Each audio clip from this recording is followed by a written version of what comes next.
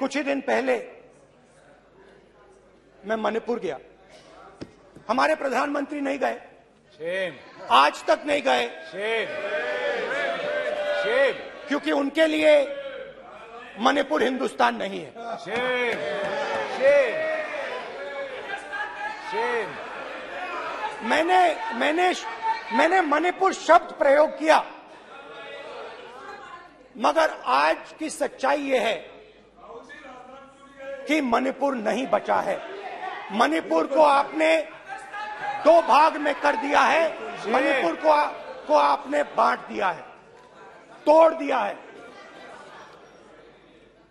मैं मणिपुर मणिपुर में relief camps में गया।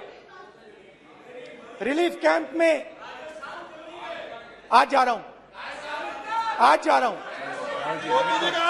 मणिपुर मणिपुर में रिलीफ कैंप में मैंने महिलाओं से बात की।